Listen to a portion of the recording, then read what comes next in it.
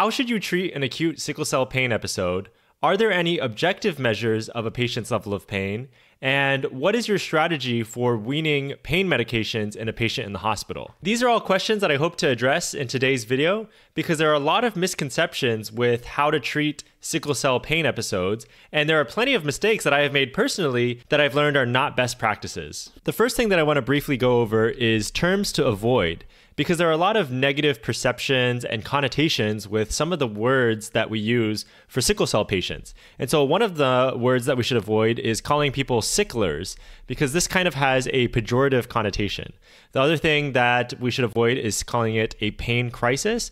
And I know this is a little controversial, and I'm even going to title this video Sickle Cell Pain Crisis because this is generally how people call these episodes. They call it a vaso-occlusive pain crisis or sickle cell pain crisis. But the emphasis on the crisis part actually has a negative connotation as well. And then also avoiding terms like frequent flyer. This is again has a very negative connotation, and really we should just be quantifying how many times the patient has required hospitalization or ED visits. For example, a patient has had to come to the ED eight times in the past year is something that has a little bit less judgment associated with it. In regard to the initial evaluation, the number one thing is that analgesia should not be delayed. In fact, the 2020 American Society of Hematology recommendations recommended that analgesia should be provided within 60 minutes of when the patient presents. There are other recommendations that say that pain medications should even be given within 30 minutes of arrival to the ED. Generally, what happens is the patient gets an initial dose of Dilaudid, for example, or IV morphine. It kind of depends on the practice of your institution. And then they're reassessed in 20 to 30 minutes to see if they need an additional dose, they're given one. And if the patient's pain is relieved, then they can be discharged with some additional long acting and PRN opioids. If the pain is not relieved after three or more doses, then it is indicated that the patient should be admitted to the hospital. And this is the first big learning point for sickle cell pain episodes is that there is actually no objective way to quantify the patient's level of pain. And actually, our gold standard of evaluating their pain is just going off the patient's report of pain. So I've done this multiple times in the past where I would look at their reticulocyte count, I would look at their anemia, levels of hemolysis, and I would kind of justify, hey, you know, it doesn't look like you're having that bad of a crisis right now. None of those things actually correlate to the patient's pain. So the gold standard, again, is the patient's report of pain. I think this is a very controversial point for a lot of people because all throughout our training nowadays, we are taught about how we need to really be very judicious with the amount of opioids that we prescribe to people and to have a very high index of suspicion for opioid misuse or addictive behavior, especially when people are requesting certain medications like IV medications. However, for sickle cell patients, this is actually the one scenario where we really have to be extremely, extremely aggressive with treating their pain and also taking them seriously when they report pain. Because of this particular patient population and the fact that most patients with sickle cell disease are black, there are a lot of times that there's this negative stigma against you know providing pain medications to these patients and it leads to all sorts of undertreatment of pain for these patients and leads to a lot of trauma and distrust of the medical system and things like that. There's been multiple studies that show that the opioid dependence or opioid use disorder rate amongst sickle cell patients is actually lower than in the typical patient population. So, if there's been any concerns that sickle cell patients are at higher risk for opioid use disorder because of their higher level of opioid use, that has actually been disproven in the literature. What I really hope this information changes for you is that it will make it a much lower threshold for you to treat their pain right away and very quickly and to treat it very aggressively with high doses of opioids. Because if we can get in front of their pain, we are going to lead to an overall much better hospitalization and hospital course in general. I'm sure that many of you have experienced those patients where it's really hard for you to tell if they are actually truly having pain anymore and it's been a super long time and you're you're not sure is this true sickle cell pain now or is this some kind of addictive or opioid use disorder behavior at this point. And so, another good piece of information to have is the average duration of a sickle cell pain episode. So, actually, the average duration in adults is seven days. And by that, I mean the average hospital stay is seven days.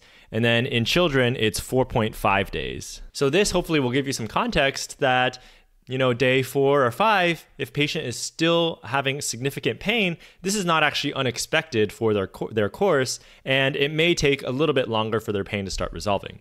And then what they do recommend is that if the pain is lasting more than 10 days, you should start looking for alternative causes of pain. For example, they could have gout or uh, they tore a rotator cuff or something, or they could have depressive symptoms that are contributing to their ongoing pain. So after 10 days, check for alternative sources. All right, and then next, I want to emphasize the importance of clarifying with the patient is this their typical pain, or is the pain that they're experiencing right now classic for their sickle cell pain episodes? And typically, the most common areas that you are going to have pain are going to be in the chest, the back, abdomen, and long bones.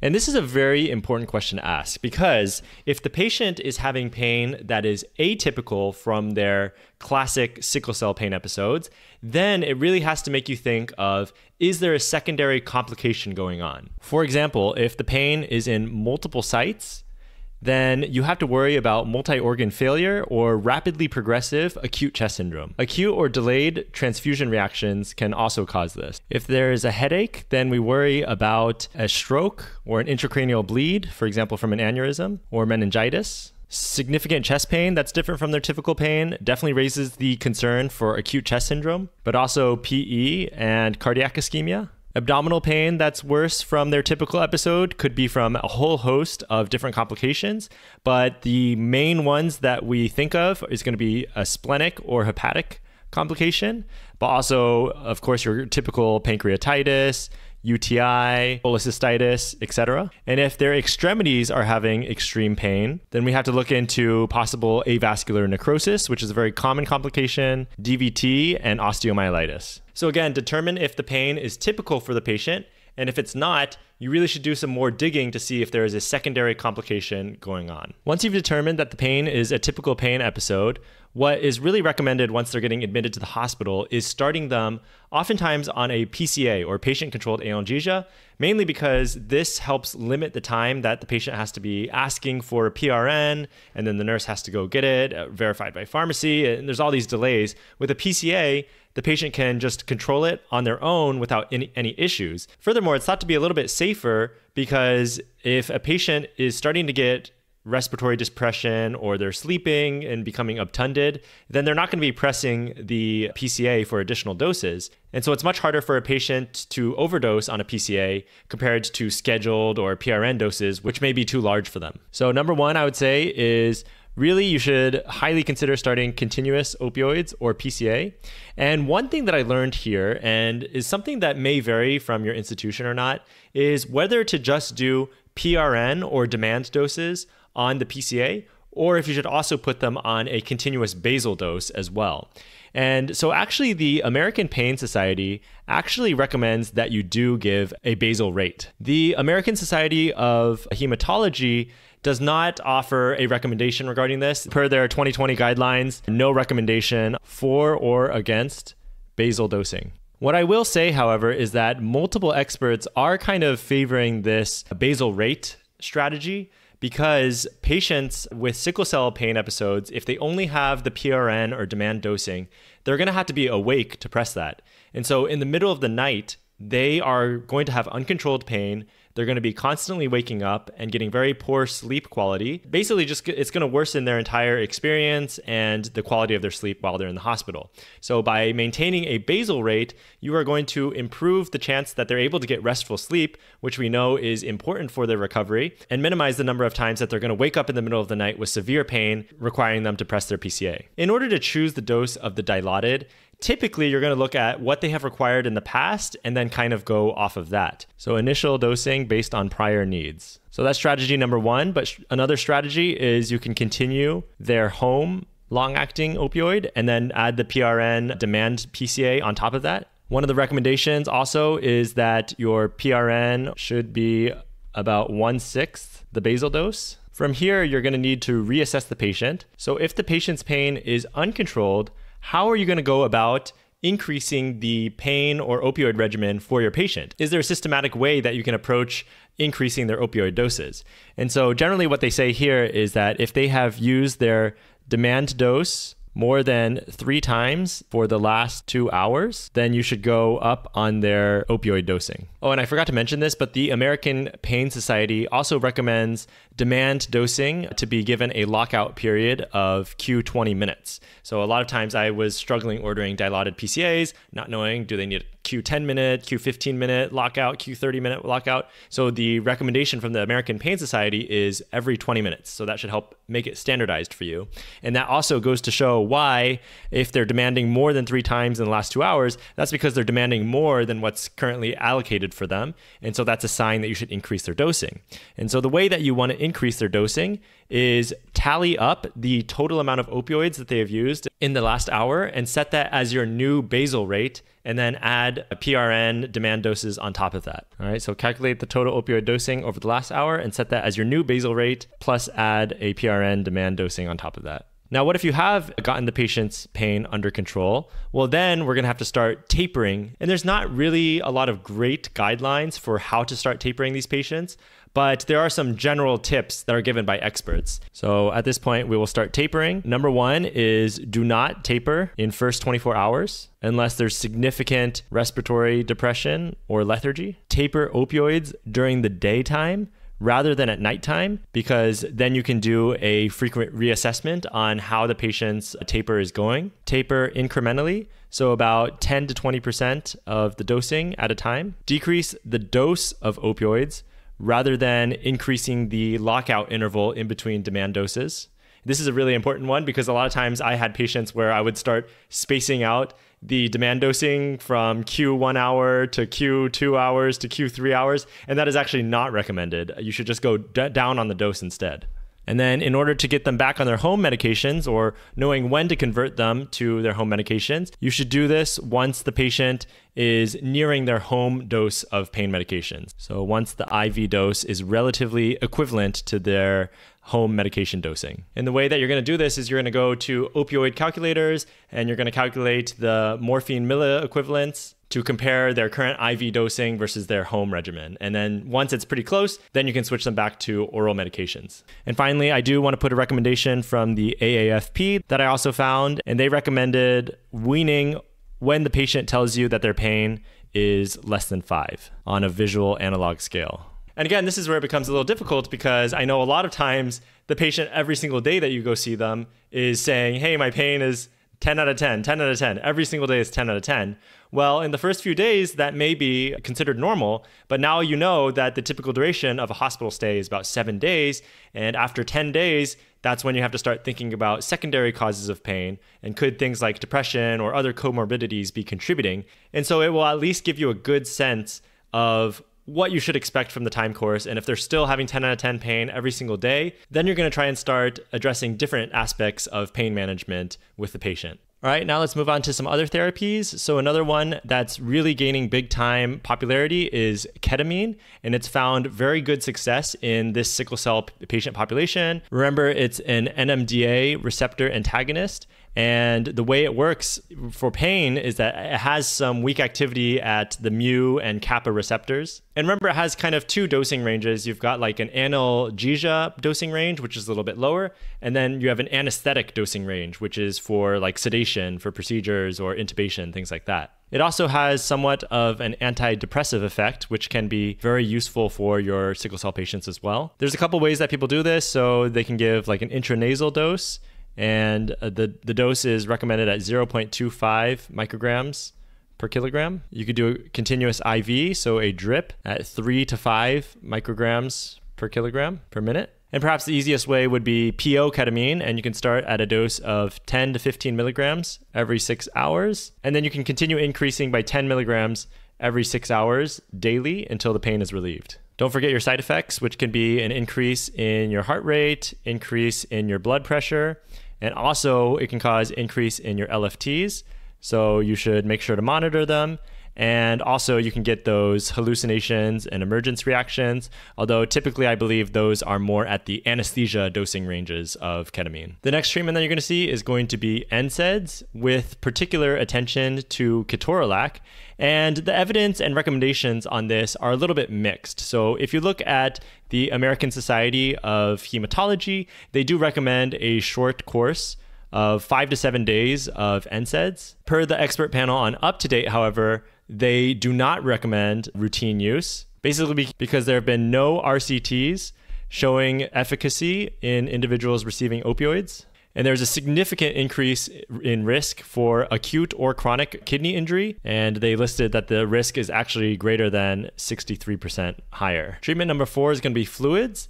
And the evidence for fluids is also not super great, but hypovolemia and dehydration is pretty common in these patients because if they're in a lot of pain, they may not be adequately hydrating themselves. And so it is very reasonable and generally low risk to be giving them fluids. But sickle cell pain crisis by itself does not warrant continuous fluids if the patient appears euvolemic. So basically, just give them fluids as indicated by their volume status. I've talked about methadone on my recent video for opioid use disorder. But remember that it's a long acting opioid and it can be used in sickle cell pain episodes as well, mainly because of the benefit of a uh, neuropathic pain benefit. Regarding management for pruritus, this is very common in these patients. So uh, you'll see a lot of these patients are going to be on Benadryl. They're going to be on hydroxyzine. And so the reason is because IV opioids tend to activate the mast cells and release histamine. This is more significant with IV morphine compared to IV dilaudid, but it is present in both. So IV morphine greater than IV dilaudid. And the recommendation here is to rely on PO antihistamines such as hydroxyzine and Benadryl. A lot of times patients are going to request IV Benadryl and the reason we want to avoid this is that IV Benadryl can cause a high or euphoric effect by itself. So, this is something we want to avoid. We want to get that benefit of the antihistamine effect without causing an additional high or euphoria. And if really needed, you'll see this sometimes is that some people will be put on continuous low dose naloxone. And this was always really confusing to me because I was like, why is this patient on a PCA? On naloxone? Isn't that going to be canceling out all of the opioid effect that they're getting? But actually, this is one of the treatments for pruritus induced by opioids. And so basically, you do a really low rate, so 0.25 micrograms per kilogram per minute.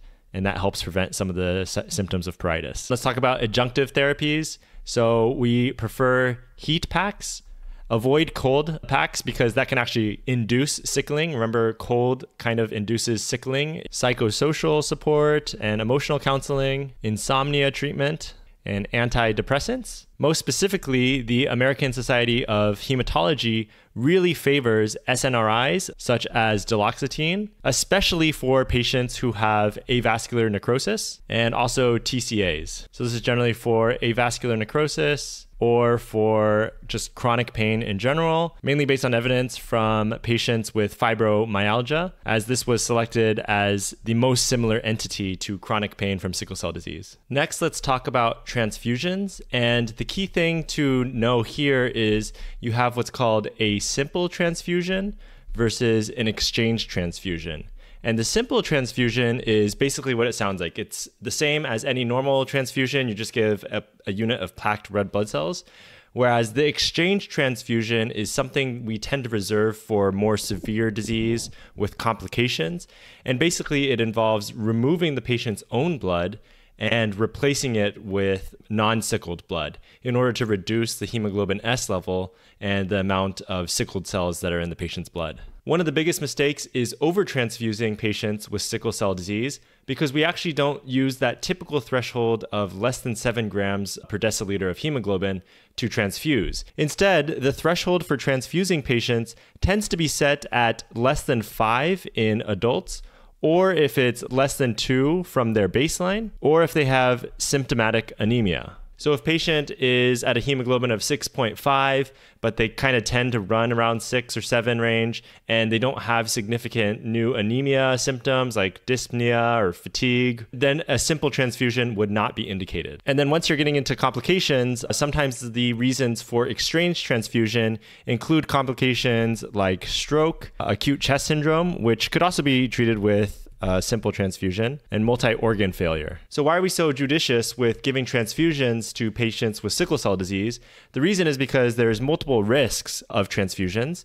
So, first of all, these patients receive a very large amount of transfusions throughout their life which can lead to significant iron overload. I've seen patients with ferritins in the 9,000s, 10,000s range, and that causes a lot of inflammation and damage to the body, particularly in the liver.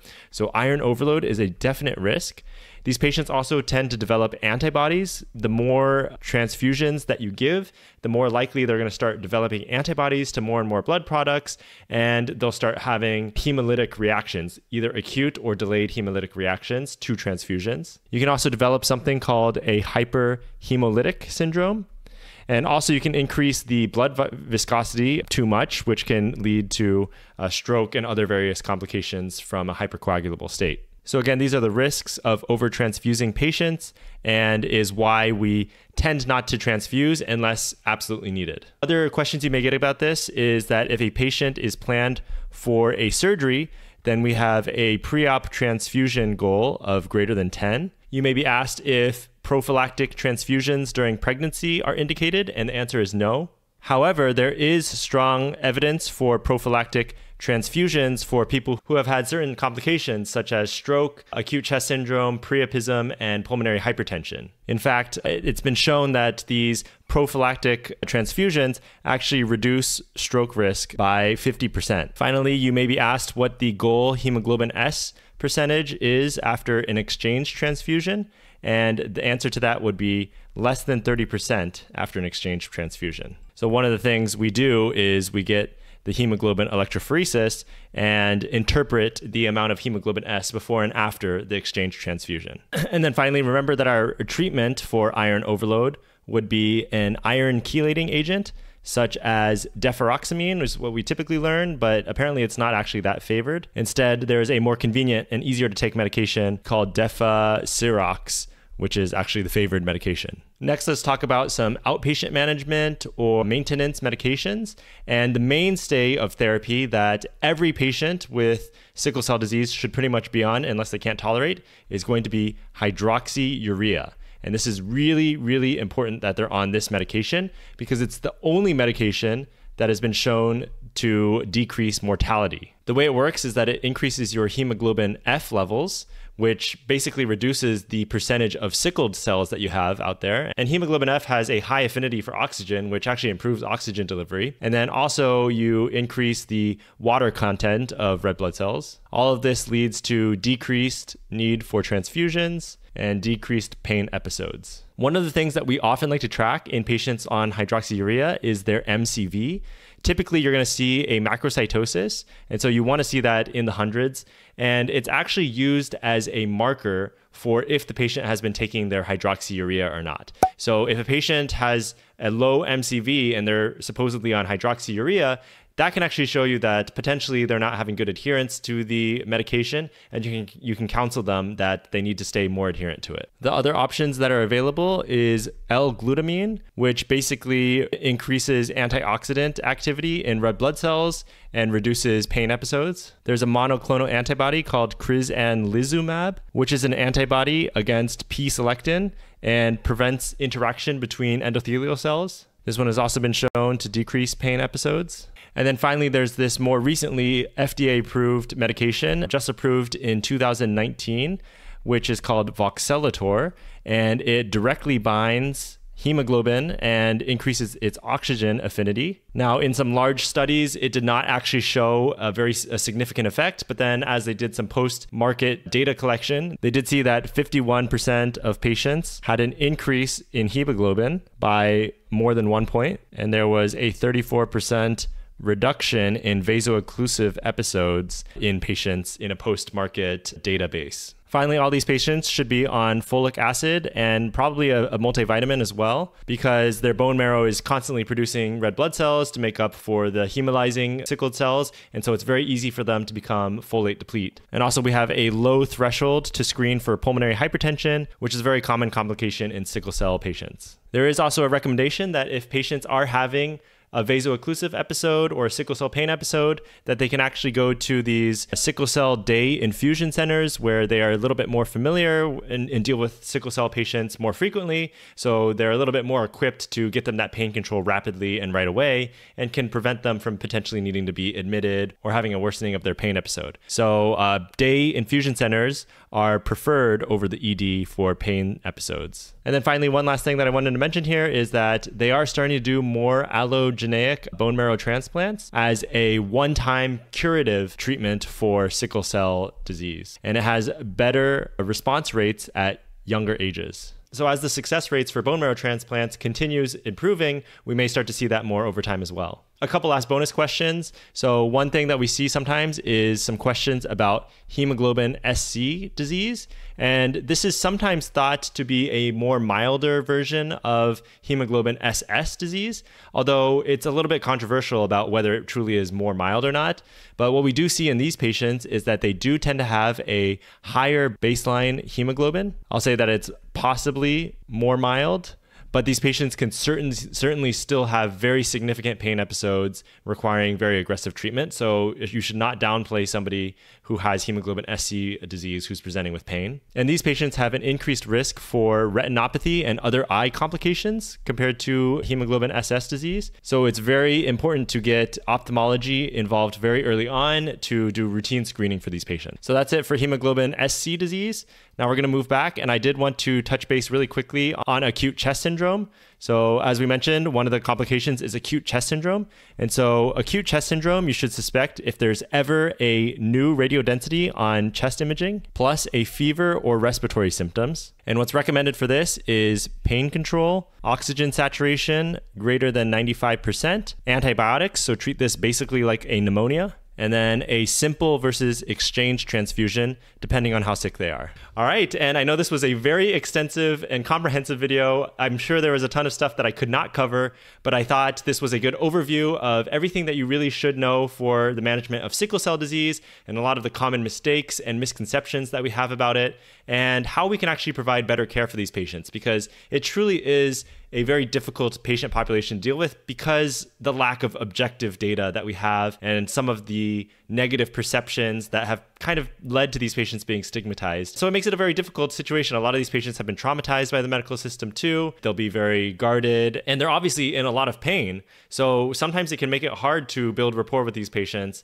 But I'm hoping that this approach, where we really try to maximize our control of their pain. We don't downplay things. We don't try to aggressively wean them when it's too early. Hopefully, these will lead to better experiences for these patients and better outcomes for them as well. Most of my sources for this video were from the American Society of Hematology, the American Pain Society, as well as up to date consensus expert panel, as well as some American Family Physician publications and New England Journal of Medicine publications. I did want to go over quickly the 2020 ASH guidelines, which kind of covers a lot of the stuff we did here, but in case you wanted to see their official recommendations, I kind of summarized it here in easier to read format. If they said recommends, this is a strong recommendation. And if they suggest, it's kind of a weaker recommendation. So they recommend rapid assessment and administration of analgesia with frequent assessments every 30 to 60 minutes. They suggest tailoring opioid dosing based on baseline opioid therapy and prior effective therapy.